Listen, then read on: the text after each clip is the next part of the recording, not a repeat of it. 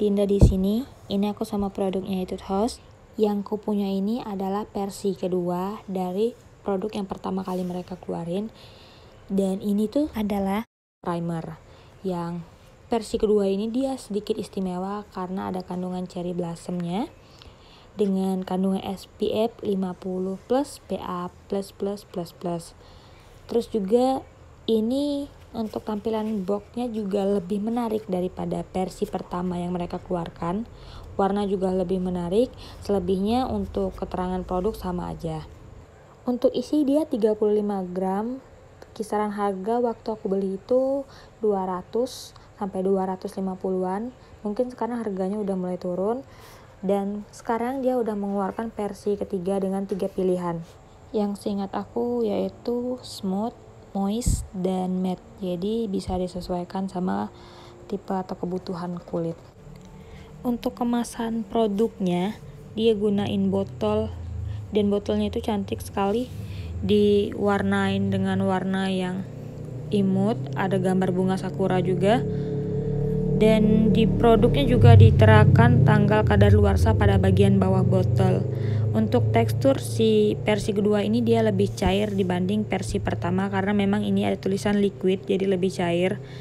Dia berwarna pink dan itu memberikan efek tone up jadi mencerahkan kulit pas kita lagi gunain produk ini. Aromanya juga enak banget, harum, lembut. Teksturnya karena dia cair jadi mudah meresap dan halus. Pas digunain ke muka juga muka jadi terasanya halus banget.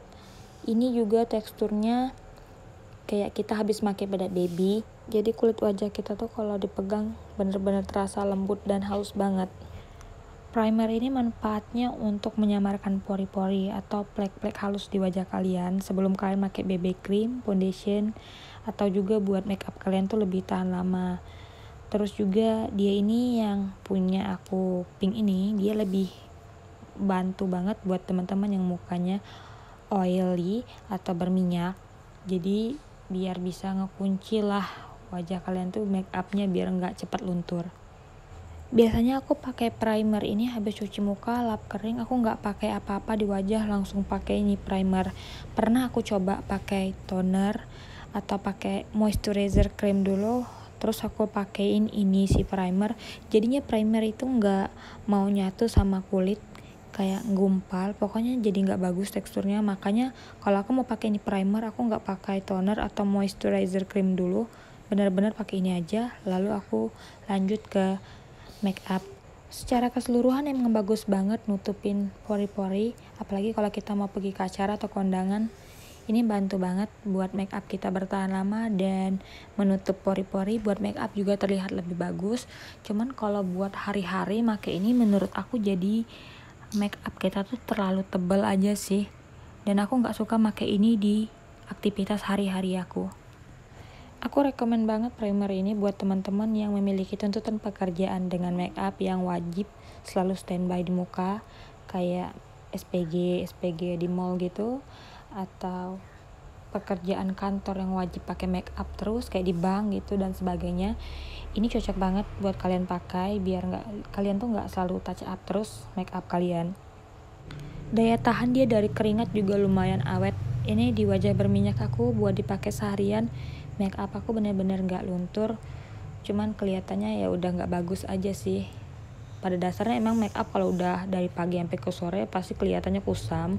Karena udah bercampur sama keringat sama debu jadinya jelek. Cuman dia tetap buat make up bertahan. Terus kalau ditanya ini bisa nggak sih diganti sebagai pengganti bedak buat dipakai hari-hari? Menurut aku jangan deh soalnya hasilnya nggak maksimal. Mending kalian pakai tone up cream aja kalau mau gantiin make up seperti cushion, foundation, mau beralih jangan pakai primer toh lebih baik kalian pakai tone up cream aja. Berhubung produk ini isinya cair jadi kalian nggak bisa menggunakan produk ini dengan spons jenis busa karena dia pasti akan nyerap ke dalam spons tersebut. Jadi lebih baik kalau pingin banget pakai spons kalian pakai spons yang jenisnya silikon.